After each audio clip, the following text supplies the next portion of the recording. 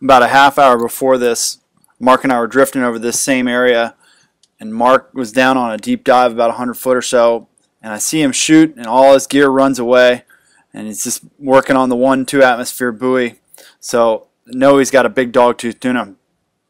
So he's fighting the fish for a while. I got time to go to the boat, get the camera, and he's fighting him perfect, bringing him up and everything.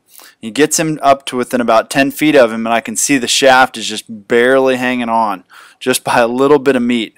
So as he's pulling it up, he just grabs the shaft and goes to to touch the tail of the fish. And literally like right when he touched the tail of the fish the shaft falls out.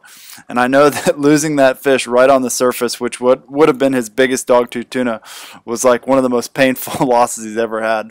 Luckily this time right here he gets his hand on him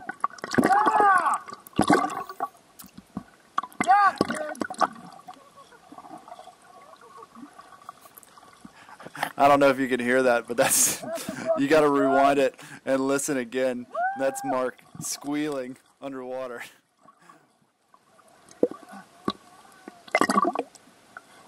Yes! That's the fucking stuff. Good job, man. That's, floating. that's the one we were looking for. Once you get them up that way, they float. You can cover them. Fuck.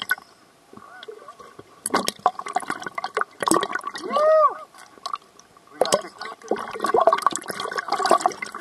I saw you haul ass down for. I didn't think he was that big.